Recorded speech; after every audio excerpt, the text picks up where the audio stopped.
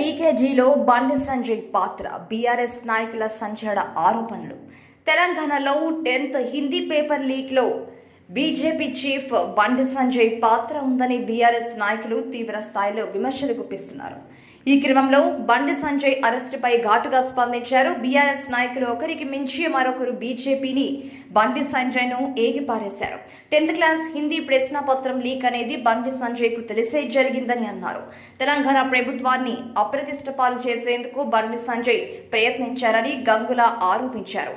రాష్ట్రాన్ని మరో బీహార్ యూపీలాగా చేసేందుకు కుట్ర చేస్తున్నారని ఫైర్ అయ్యారు. ఆయనకు వాట్సాప్లో హిందీ పేపర్ రాగానే పోలీసులకు ఎందుకు చెప్పలేదని గంగులా ప్రశ్నించారు. రాజకీయ కుట్రలో భాగంగానే లీకేజీలు చేస్తున్నారని మంత్రి జగదీష్ రెడ్డి ఆరోపించారు. అధికారం కోసం బీజేపీ ఎంతకైనా దిగజారుతుందని విద్యార్థుల జీవితాలతో ఆడుకోవడం ఏంటని అన్నారు. తప్పు చేసిన వాళ్ళు ఎప్పుడో ఎక్కడో దొరుకుతారని బండి సంజయ్ కూడా అలాగే దొరుకుతారని మంత్రి అన్నారు.